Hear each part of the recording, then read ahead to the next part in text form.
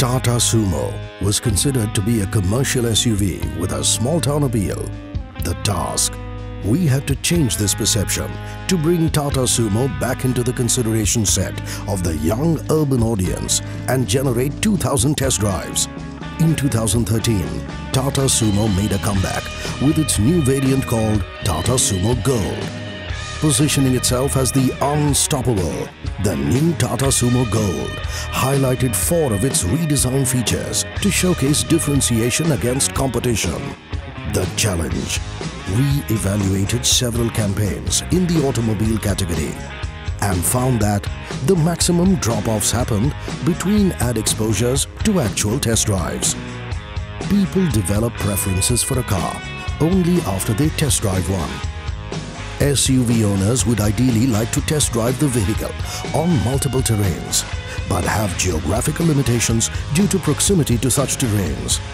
The solution we developed a first ever IVR prompted virtual simulated test drive within a single banner. The virtual experience allowed our audience to test the Tata Sumo Gold on multiple challenging terrains, experiencing the features. The execution.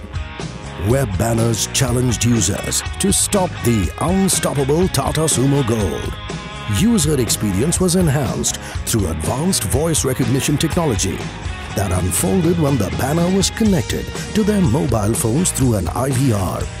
Once connected to the banner, users could now put the Tata Sumo Gold to the ultimate terrain test. The uniqueness of the banner lay in the ability to load default terrains based on the user's geolocation based on operator circle targeting.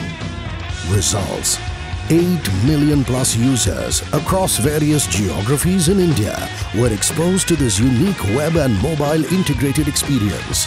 The overall consideration levels for Tata Sumo Gold post this campaign went up by 7% against the industry average conversion rate of 0.01% from exposure to test drive. Our campaign yielded 2.3% more test drive requests were two times of what was anticipated. Google DoubleClick added the campaign in their best creative case studies, appreciating a first-of-its-kind creative execution in India in the auto category by far, thereby bringing Tata Sumo Gold back in the game.